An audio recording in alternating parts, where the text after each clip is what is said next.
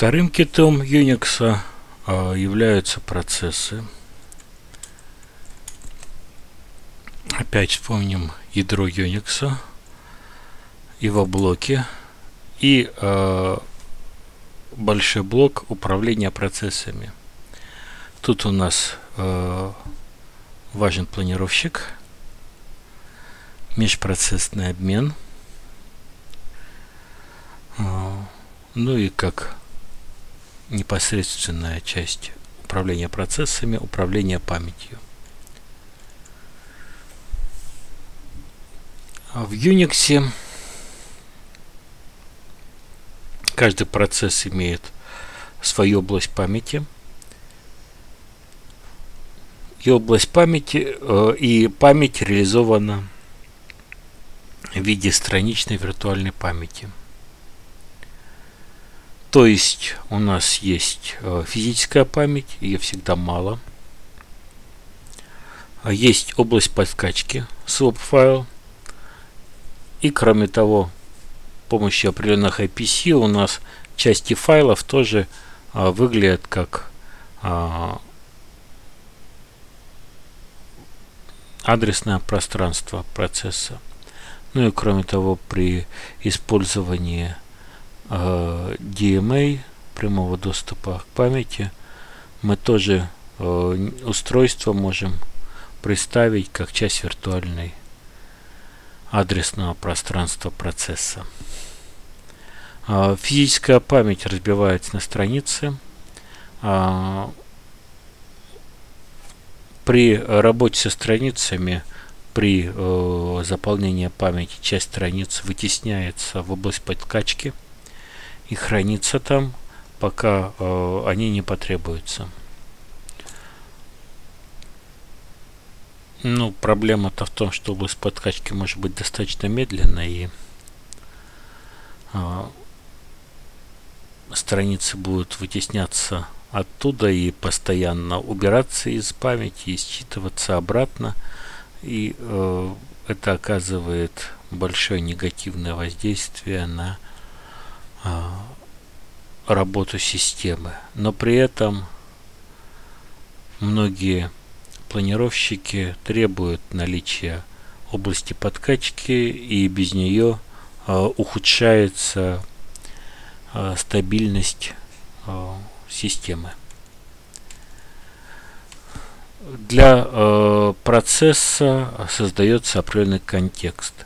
Э, Unix принадлежит э, операционным системам э, с легкими процессами.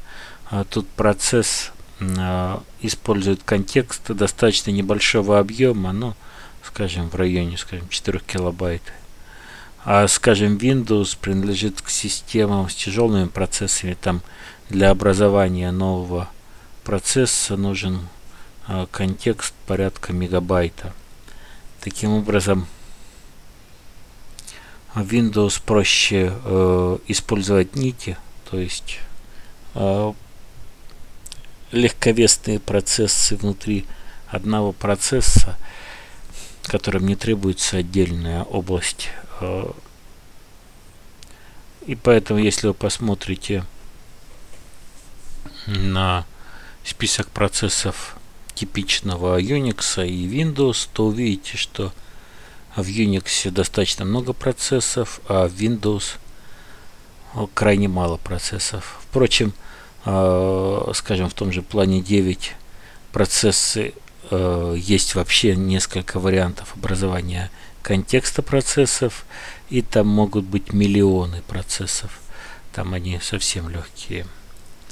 А, итак, у нас для, для создания процессов используется следующий контекст. Это идентификатор процесса PIT, э, номер, идентификатор родительского процесса, состояние процесса, идентификатор пользователя, то есть кто владелец процесса, э, приоритет процесса для скедулера, э, дескрипторы открытых файлов.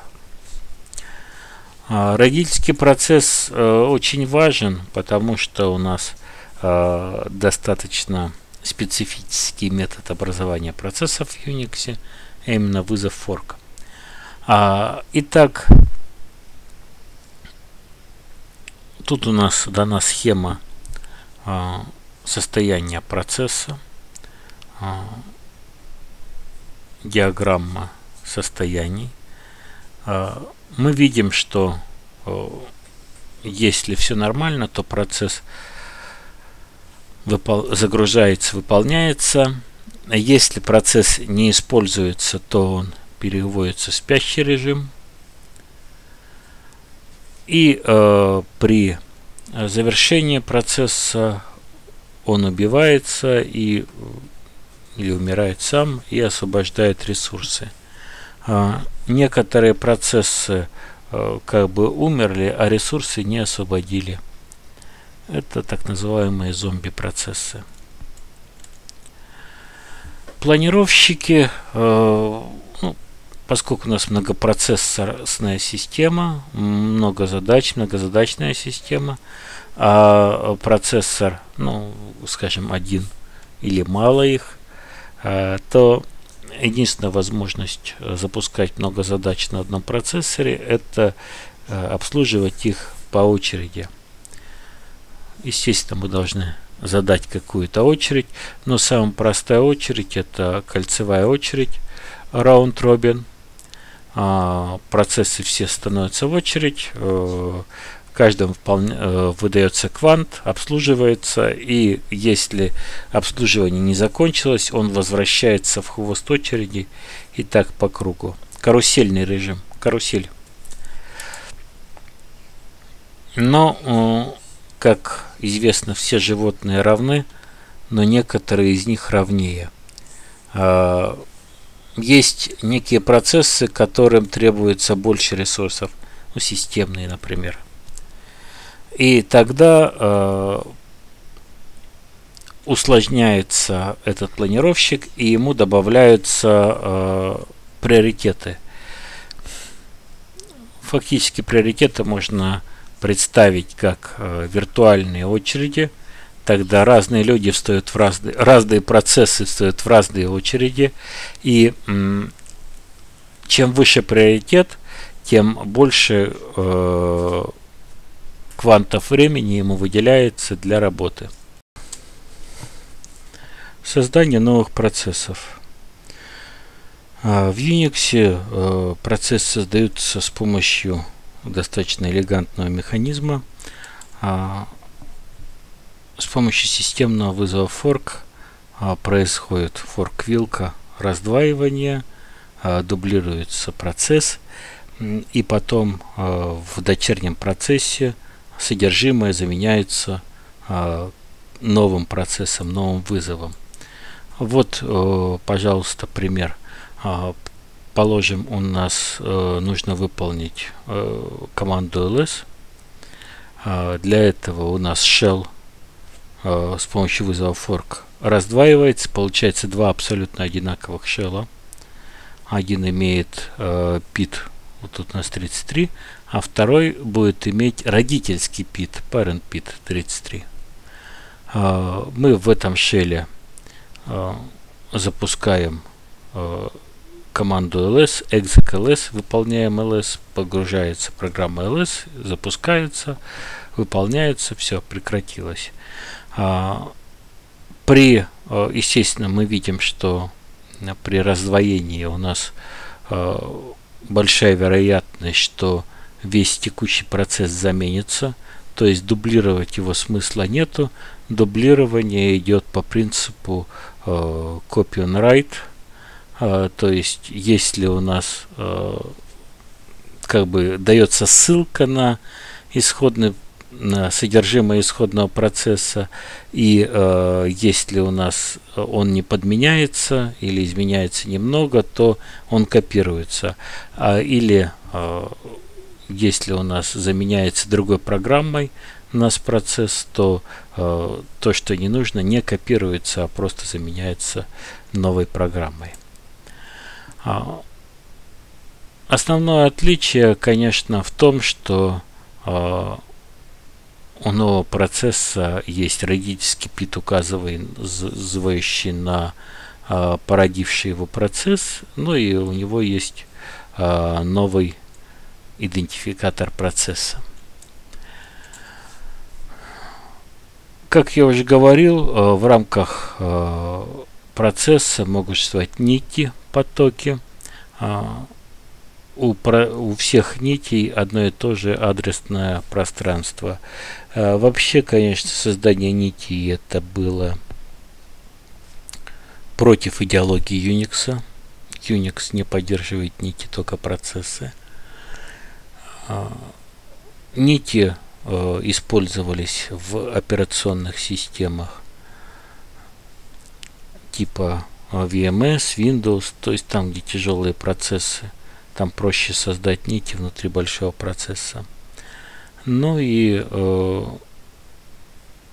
идеология Э, многопроцессорной работы пошла э, по стопам э, того, что на разных ядрах процессора лучше запускать нити, ну вот так вот исторически разработка пошла, чем отдельные процессы. Ну почему? Потому что процесс, который запускает нити на разных ядрах, он знает об этих нитях больше, чем скедулер планировщик о своем процессе и будет управлять ими лучше. Поэтому работа на многопроцессорных системах пошла по пути работы с нитями и э, в Unix был создан созданы библиотеки работы с нитями и э, нити вошли в ядро Unix. А, Процессам нужно взаимодействовать друг с другом. Соответственно, у нас должны быть примитивы межпроцессного взаимодействия. Их очень много. Есть межпроцессные взаимодействия чисто юниксовые, например, каналы, переменное окружение. Это то, что возникло еще в старом Unix. Э, в рамках э, ветки BSD и System 5 развивались параллельно э, схожие методы взаимодействия. Ну, например, разделяемая память развивалась в рамках System 5 интенсивно, а сокеты возникли в BSD Unix. Ну и сейчас мы используем библиотеки System 5 для работы, скажем, с сигналами разделяемой памятью и э, сокеты э, библиотеки э, BSD для работы с сокетами. Разделяемая память э, очень хорошее средство. Э, мы имеем э, прямой, прямой доступ, мы унифицированно работаем э, с памятью, пишем как будто в область памяти, а оказывается у другого процесса. Недостатки а это средство не содержит никакой возможности синхронизации по умолчанию.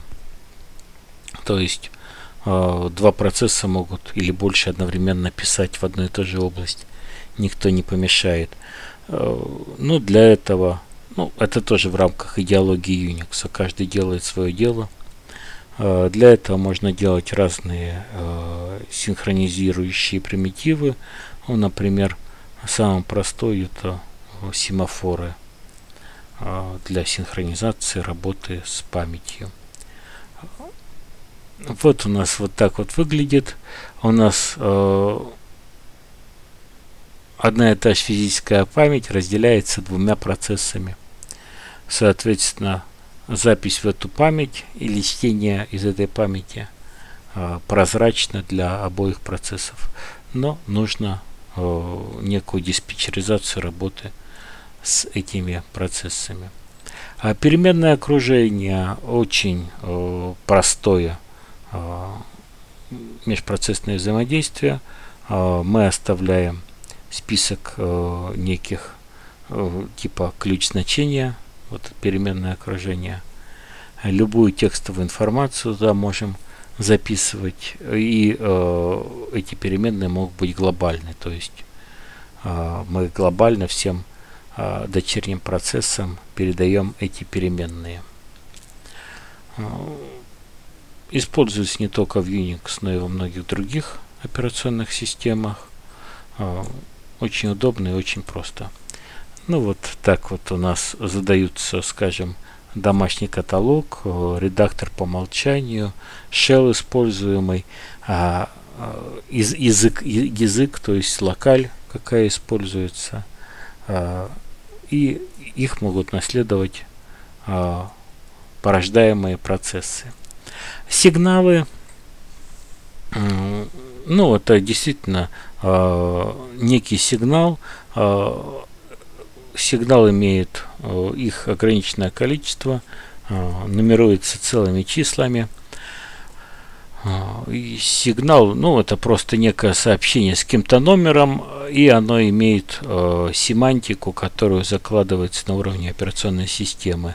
По стандарту у нас есть часть сигналов э, с семантикой заданной, а часть сигналов э, семантика, которые можно задать э, на уровне программы. Каждый, каждый человек, каждый э, программист может задать свою семантику. А, все они имеют или какое-то название, ну и, соответственно, какой-то э, номер. Э, вам интересны из сигналов это девятый сигкил. Э, кстати, программа, которая посылает сигналы, так называется kill. Она может посылать любой сигнал. А SIGKILL это сигнал убийства. Э, процесс должен завершиться немедленно, э, не задумываясь о том, как освободить ресурсы, как э, завершить какие-то свои действия, он должен завершиться. Значит, сиктерм – это сигнал, который, опять же, вам интересен, 15 Это мы посылаем информацию, рекомендуя завершиться программе, но при этом не заставляем ее прямо сразу завершиться, а говорим, что подождем, когда она завершится корректно. А, вот э, примерно так вот работает. То есть процесс, который получил сигнал сектерм, он э, освобождает э, ресурсы, записывает результаты, завершает работу. То есть крутится процесс, мы можем послать ему такой сигнал. А сигналы USR1, USR2, э, как бы user1, user2, это сигналы, которые не имеют заданной семантики. А, по умолчанию, если они никак не обрабатываются, они просто э, идут как сигнал завершения процесса. Ну, например, для чего их можно использовать? Для того, чтобы дать сигнал перечитать конфигурационные файлы, например. Э, в общем, их обрабатывает уже каждая программа а, по-своему. Нет семантики. А, ну вот так вот, например, мы посылаем а, процесс а, USR1 а, и говорим ему, что до него пришло а, некоторая информация, которую нужно считать. А, и а, он считывает. Ну вот, например, да, обновление конфигурационных файлов. Каналы. Э, каналы есть э, неименованный, именованный. Неименованный канал – это канал, э, которому имеет доступ только два процесса. Он никак не виден. Именованный канал э, выглядит как файл специального вида на файловой системе. Э, к нему можно обращаться по этому имени – каналы могут быть однонаправленные двунаправленные. А, значит, ну, что такое канал? Это как, как труба. А, у него нет никаких средств для диспетчеризации сообщений.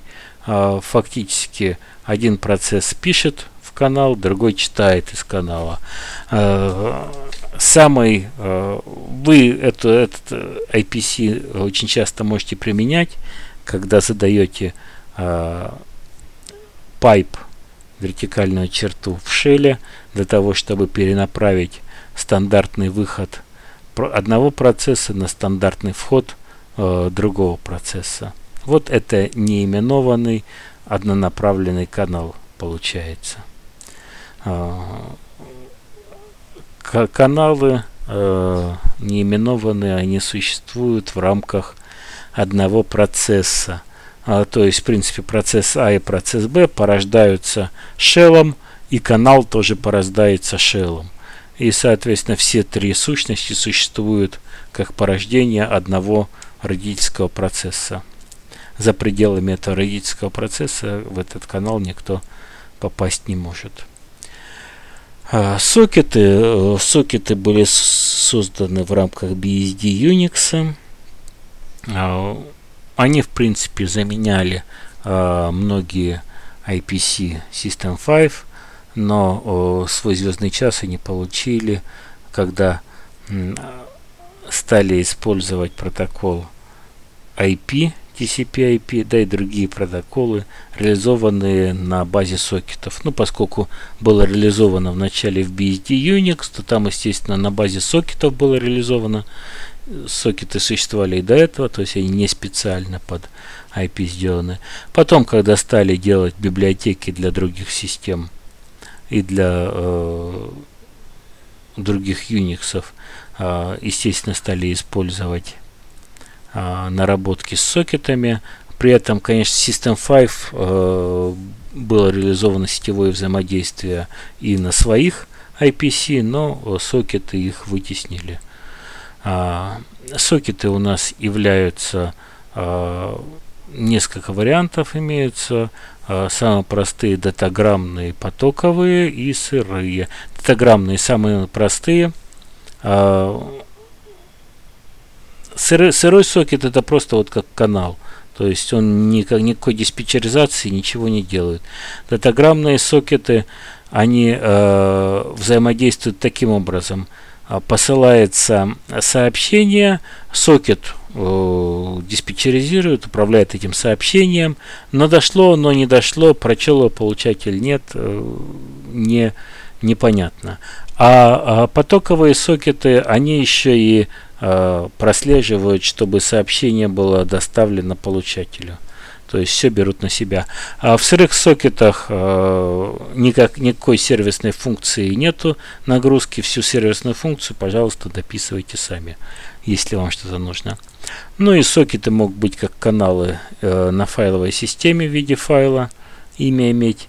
А, ну и сетевые сокеты, а, как я же говорил, в плане 9 они тоже в виде специальных файлов имеются. И а, в современных Linux тоже все, Unix все идет к тому же. Вот так вот работают датаграммные сокеты и потоковые сокеты. Тут нужно отметить, что поскольку потоковый сокет, он учитывает получение, то есть обрабатывает получение пакета, то а, фактически он состоит из двух частей. Из э, сокета прослушивающего, есть ли соединение или нет, и э, на сокет, э, если идет соединение, то порождается новый сокет, который используется в обработке информации, собственно, и в подтверждении доходит э, информация или нет. Ну и связь может реализоваться тоже или однонаправленная, э, либо э, полуторанаправленная, то есть полудуплекс, как в радиостанции. То есть вы сказали э, и нажимаете кнопку прием и так далее. Или дуплексная двунаправленная. В лекции мы увидели, что процессы это второй по важности элемент э, в Unix вместе с э, файлами. А, каждый процесс имеет уникальный идентификатор. У процессов есть контекст. В Unix легкие процессы, то есть процесс э, занимает достаточно небольшой контекст. Процессы новые проводятся путем разветвления родительского процесса на родительский и дочерний. И э, для взаимодействия процессов используется достаточно богатый набор IPC. Излишне богатый, не нужно столько IPC, нужно, э, нужно бы их подсократить, э, подуменьшить, но э, для этого нужны э, организационные э, силы и никому это особо пока не нужно. А, дополнительные материалы вот а, такие вот вам предлагаются и а, вопросы для самоконтроля.